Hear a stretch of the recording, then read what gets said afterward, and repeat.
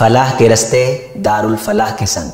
नूर कुरान की रोशन किंदी लिए हुए सईदुल हुदा के फरमुदात की बरसात के साथ। दारुल फलाह ला रहा है आपके लिए सोलह रोज़ा तामीरी तस्कीरी फ़िक्री, तालीमी प्रोग्राम्स। लफ्ज़ लफ्ज़ मोती आपकी सिमातों की नज़र। माह गफरान में शहादतें किस तरह समेटी जा सकती हैं? ज़िंदगी सिरात मुस्तकीम पे कैसे गामजन हो सकती है? हम किस तरह एक कौम बन सकते हैं? ममलकत खुदादाद की खिदमत के तकाजे क्या हैं? दीन दीनदारों से, ना के फनकारों से। हमारी ज़िंदगी में छाए हुए मायूसी के बादल कैसे छट सकते हैं?